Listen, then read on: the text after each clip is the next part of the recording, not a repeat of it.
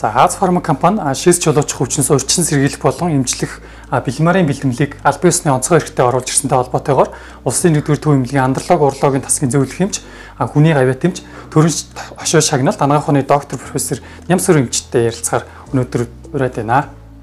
За сайн байна уу эмч?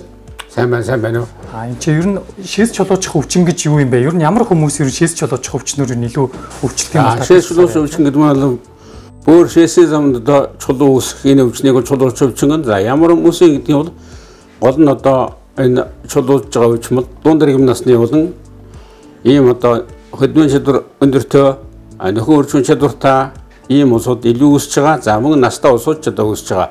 Гол шалтгаан юу гэхээр зэрэг энэ бол нэгдүгээр шээсний одоо замын өрөвсөлт өвчнүүдээс бол бөөрн чулуу үүсэх.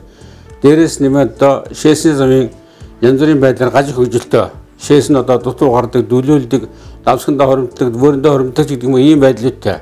Дараагийн дугаард одоо хоол хүнс олон болсон солилцооны янз бүрийн одоо эмгэгүүдээс болоод за нөгөө нэг хэсэг нь бол усны одоо хадуулах чанар, энэ усны ундааны байдлаас болоод гэх мэтийн маш олон шалтгаантай. Мөн хоол хүнсний байдал юунтэй холбогдоод өөр чулууч хөвчин бол ерөн бол одоо дэлхийн нийтээр төрөндөө өнөөдөр Монгол сүүлийн одоо 10 20 жил маш ихсэн. Яагаад ихсэн гэдэг нэгдүгээр тал энэ нь бол онцлогоос ажилласантай холбоотой нөгөө талаар бол эхогийн одоо үзлэг шалгалтаар одоо өөр эрхтний системээ үзүүлж явж байгаад бүр бүр шээсэн замын хөвч одоо замдаа чулуу үүсэх юм шалтгаанууд байдаг. За нөгөө нэг нь бол одоо аянда чулуу шээлгүүрс тэглээд шээлгүүрээс тэгэлсэн чулуу гарахгүй гацсны тохиолдолд бөөрийн одоо хатгаа буюу бөөрийн одоо энэ маш хүчтэй өвдөлтөөр илэрч ингээд одоо эмчид хандсанаар бөөрийн чулуу онцлогдож байгаа.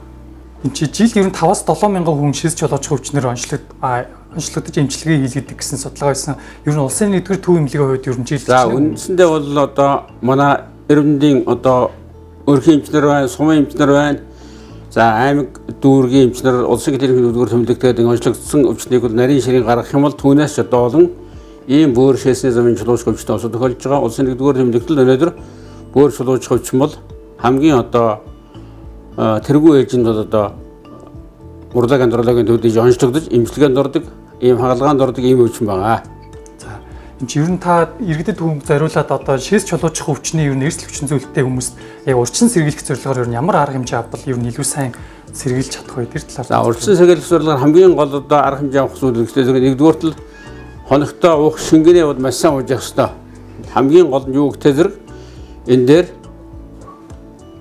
уух шингэний хэмжээ бол олон улсын жишг хандлага стандартаар 2 литр түнээс зэш шингэнээ ууж байж гимэж бөөр одоо сэвэршиж шээс шингэрч чулуу үүсэх одоо байдлаас л нэгдүгээрт ангижирна гэсэн үг. Хоёрдугаарт одоо янз бүрийн одоо бөөрийн шээсний замын гажиг хөгжлөдөө түүнийгээ эрт дэмжлүүлэх, эрт онцлуулах, түүнийхээ дагсан одоо дэмжлэг хийх хэрэгтэй.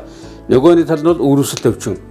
Үрвсэл төвчнээ бол одоо эрт дэмжлүүлж сайн дэмжлүүлэхгүй бол Үргэлжлэлийн фондор чулууны 90-99% нь энэ фондор үүсдэг. Ийм учиртай учраас эдгээрүүдийг бол онцгой анхаарч эмчлэх ёстой. Манай эдгээр мэдээлэл бол өөрийн чулууг бол үндсэндээ бол 99%-ийг бол дурангийн эмчилж явж байгаа. За мэдээж 0.5 см-аас бага диаметртэй түүнээс одоо жижигхэн чулуунууд хэрвээ байх юм бол өвчтөн өөрөө бол одоо энэ дээр бол одоо мэслэлд орохгүй яхан арын азны гэдэг юм уу аль эсвэл одоо эмчиж гисэн бол их жижигхэн чулуунд бол хаалгаанд орохгүй. Энэ тохиолдолд бид нар юу гэхтэй зэрэг энэ бөөрийн болон шээсний замын чулууг уусгах ийм эмчилгээнүүд хийдэг. За тэр дундаа бол өнөөдөр энэ 2015 онд бол Европын бөөрийн бизнес холбооны эмчнэрийн одоо энэ конгресс дээр бол бүрэн дүүрэн батлагдсан энэ одоо эмчилгээний гол одоо юм болох Билмариныг бол бид нар өнөөдөр одоо хэрэглэхэд бол энэ одоо маш чухал ийм үйлдэлтэй юм байна. Энэ бол энэ бол өөрийн болон шээсийн замд үүсэн жижиг чулууг уусгах ийм үйлдэлтэй учраас Билмариныг хэрэглэснээр бол бас одоо жижиг чулуунуудыг бол мэсл илгүүгээр эмчлэх бүрэн боломжтой. За мэслэр одоо чулууг хаан уучлаад ихтэй зэрэг эхний 1 жилийн дотор бол 16% одоо чулууж юм хандлагатай 5 жилийн дотор 32% нь одоо бөөрийн чулуу дахь хандлагатай 10 жилийн дараа 52% нь бөөрийн чулуу дахь хандлагатай. Ийм учраас мөн бид нар одоо яг хөвгтөд бөөрийн чулуунаас дахиас урдсан сэргийлээд юу уух хөвгтөд зэрэг бэлмарина ууж байж гэмэж бид нар энэ чулуунаас одоо бүрэн ангижийн хувь дахилтаас бол бид нар яг уу хамгаалах бүрэн ийм боломж үүснэ. А мэдээж ганц бэлмэн биш бас одоо өрөвсөл байх юм өрөвслийн дардаг имчилгээ өвдөлтөй байх өвдөлтөй дардаг имчилгээс хамсарсан имчилгээнүүд хийжээж а тэгээд боломжноос сайхан одоо хэмжээнд шингэний уун за мэдээж одоо ууж байгаа эд шоолныхаа бол яг хөнгөтэй зэрэг чулууга шинжилүүлээд ямар эд шоолноос болж илүү одоо ийм чулуу үүсэх гэдэг бол шинжилүүлээд ингээд явах юм бол чулуунаас ангих бүрэн боломжтой. За ойлголоо.